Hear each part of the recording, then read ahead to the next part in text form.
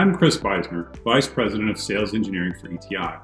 I'm happy to have this opportunity today to quickly demonstrate ETI's service management platform.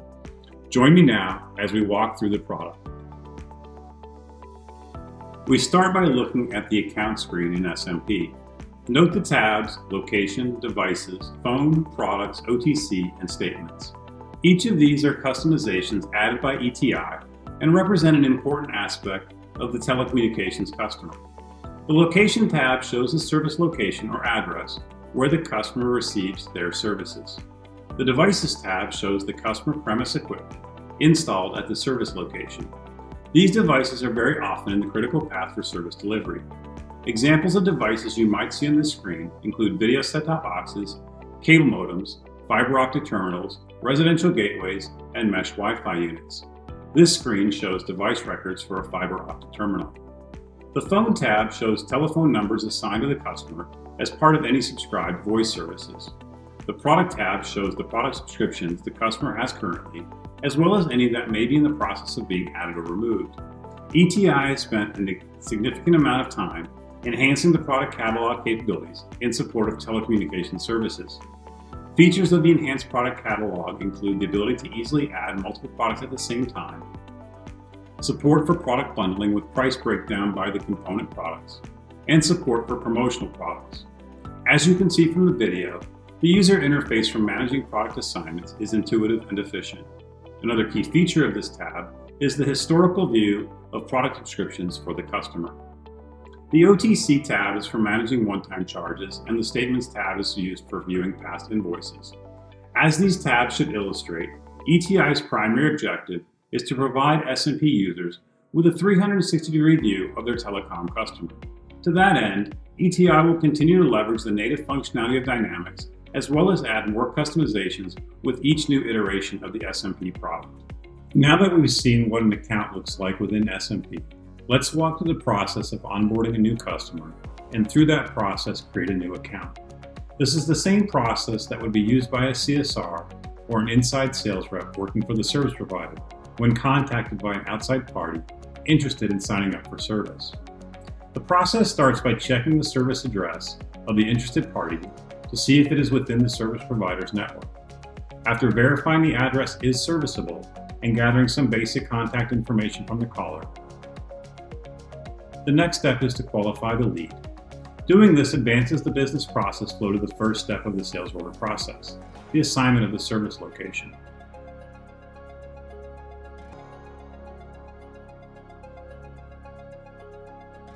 After assigning the service location, one or more products are usually assigned, but we will skip ahead to the outside plant field service tab. On the field service tab, the user toggles the dip switches on the left that align with the state of the physical circuit, drop, or any CPE or devices installed at the service location. Once set, the sales order is converted into a work order, which will include the default list of tasks, products, and skills required to complete the job.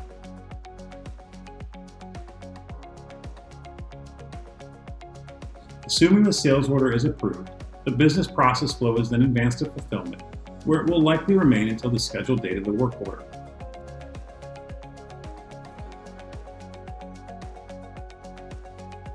Here we see the account for the new customer and the open work order that was created during the sales order process. As you have just seen, onboarding a new customer through SMP is not complicated and can be done very quickly. In addition to the native in-app support for onboarding new customers, ETI also offers a web portal extension to SMP that enables prospective customers to check the serviceability of their address and sign up for service online all without talking to a service provider representative.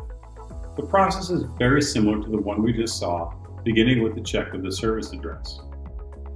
Assuming the address is serviceable, the prospect is then presented with one or more tiles, each representing one of the available classes of service.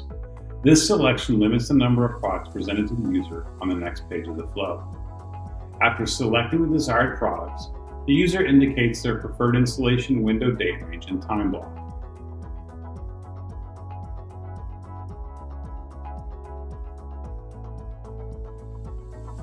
Following that, they are presented with a summary of the order detail, which they must confirm in order to advance. The default flow includes paying upfront for the services selected. However, ETI can amend the flow if desired by the service provider to eliminate or delay this step. After filling in the payment details and executing the payment,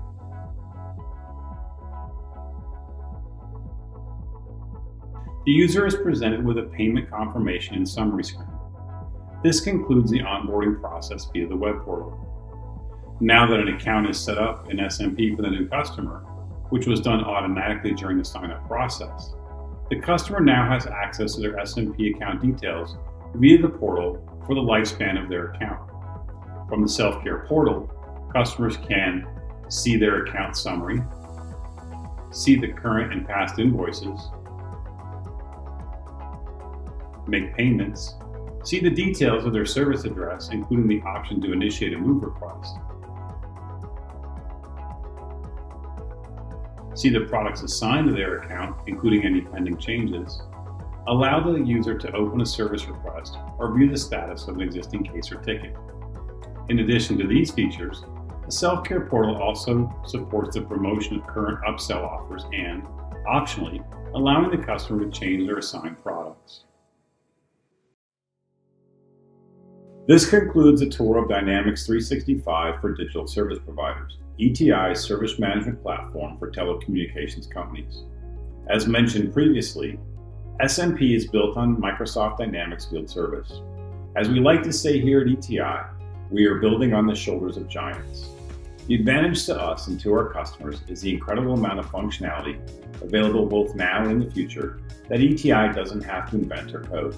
Our good friends at Microsoft are taking care of that for us. In subsequent releases of SMP, ETI will be taking advantage of the many game-changing features of Dynamics, like artificial intelligence, augmented reality, and robotic process automation which have the potential to have a material impact on customer support, business operations, and operational expenses. Another giant shoulder that ETI stands upon proudly is TM Forum, a telecommunications standards body that has spent years defining the architecture and functional blocks of business and operational support systems.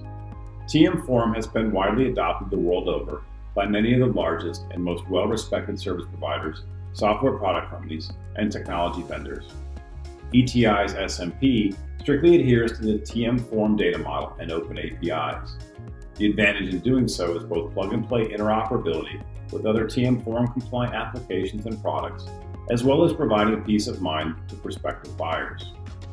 As you can probably guess, we here at ETI are very excited about SMP, our relationship with Microsoft, TM Forum, and the impact this combination will have in the telecommunications industry. Given what we've already accomplished, the potential seems unlimited. Thank you for watching.